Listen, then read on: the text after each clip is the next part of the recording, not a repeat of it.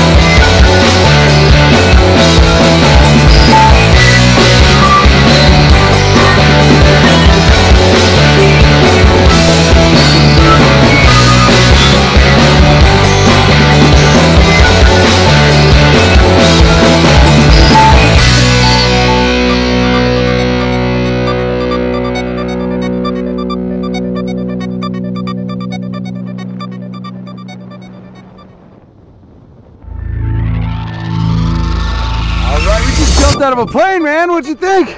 It's nice. Pretty wild, right? Yeah.